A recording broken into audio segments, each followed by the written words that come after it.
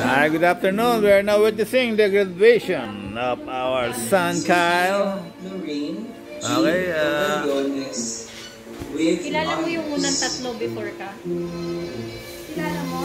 Tayo na kayo pag kayo Oo, para tatawa na kami. Tawagan mo ikaw. okay, this here's the excited and uh, call this nervous mom. Okay.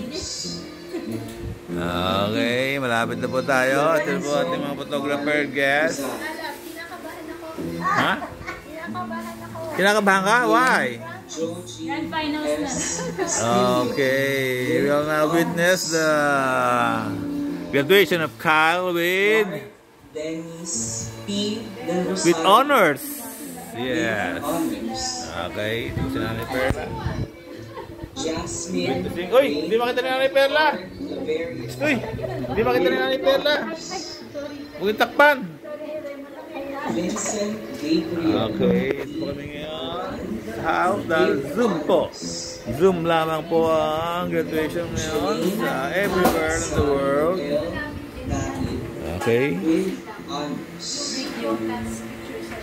Kasi sa kanya sa Emmanuel M. Ebreo. With high Okay, honors. we're now waiting. Witnessing. SD. Dorminette P. De La Cruz. With honors. Ernst G.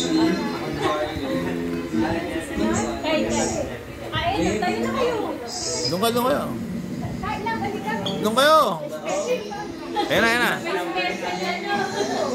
Okay.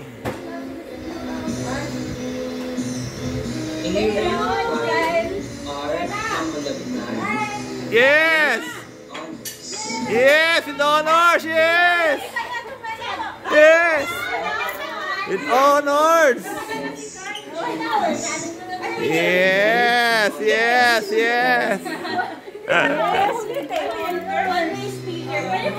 Okay! Nakita with honors!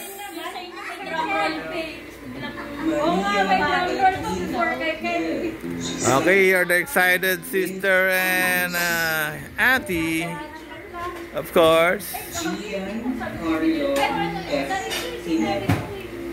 That's it.